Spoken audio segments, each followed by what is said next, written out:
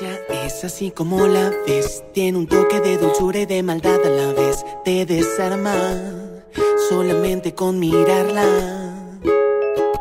Ella va como una tempestad, segura de que tiene algo más que las demás. Cuando la vi, sí, la quise solo para mí.